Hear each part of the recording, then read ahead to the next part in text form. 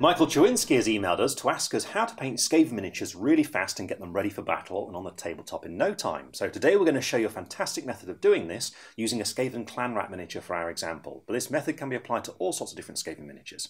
Now what you need to do is start with an undercoat of Zandri Dust Spray, which you can see is what I've done for my miniature just here. And then the colours you're going to need are Agrax Earthshade, but you also need Cadian Flesh Tone, Lead Belcher, Khorne Red, and also Screaming Skull. Now we're going to be starting out with Agrax Earthshade, which I'm going to be applying using a medium shade brush, and we're going to be using Agrax Earthshade a few times actually, but for this first step, what we're really looking to do is to darken down the entire miniature and shift it towards more of a darker brown kind of area. So get a good amount of this on your palette like this, and really load up your brush, and all you need to do is apply this all over the model, making sure you get it to all the recessed detail as you go.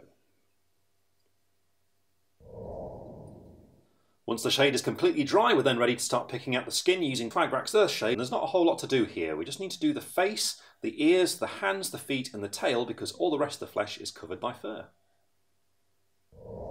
Return to Agrax Earthshade and once again apply it all over the miniature. Next we need Lead Belcher and this is to base coat all of the metal details. Return to Agrax Earthshade and once again apply it all over the miniature. Then using Khorne Red, it's time to pick out all of the rags. And if you want to, you can even pick out the Agrax Earthshades.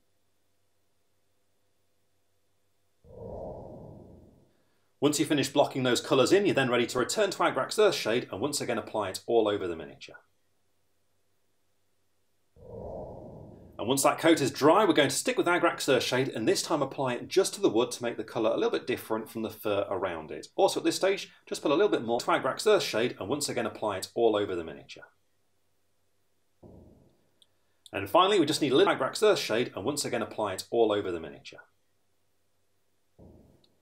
And there we are, this clan rat is fully painted and ready to be Agrax Earthshade. So Michael, I really hope that helps you out and answers your question. And remember, of course, you can apply this technique to loads and loads of different miniatures in the Skaven range. So have fun painting your army and your hordes, and we'll see you all again very soon.